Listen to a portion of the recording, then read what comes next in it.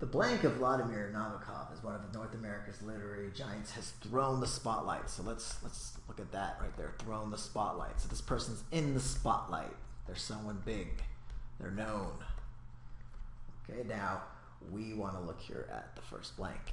And we want to see here that we have three words stigmatization, answer choice A, which is a negative word. That is, to have a negative association with something is stick to be stigmatized. Now, we can see that the spotlight has been thrown on someone. Is that a negative thing just because the spotlight is thrown on you? And the answer is no. So we can't choose such a negative word. So we can get rid of A. You may not know what B means not that common of a word. C, marginalization, something's pushed to the margins, it's not that important, It's the opposite of something that's in the spotlight. So that's clearly not the answer. So, of course, the answer has to be B. Lionization means to hold something up as a celebrity or something great, to treat as someone very important. And hence, when someone's in the spotlight, they're typically lionized. So we have the first blank. What about the second blank?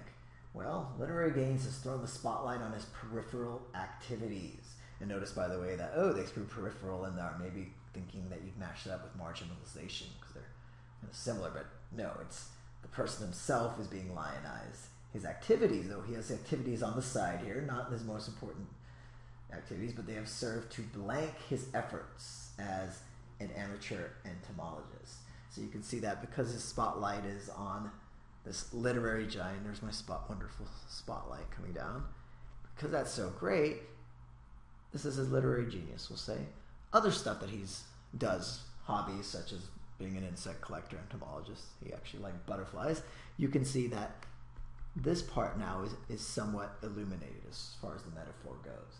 And so we need to find a word that kind of says, oh, some of that spotlight is also on his efforts as a, as a bug guy, as an amateur bug person. So we look here at answer choice D, which is foreground. We put something else in the foreground. It's also here as part of the spotlight. And that's why D is our best answer. E, transcend means to go beyond. It's not transcending or going beyond his literary genius, so that doesn't work. Uh, and then, of course, F obscure is the opposite of what's going on here, so we end up with B and D.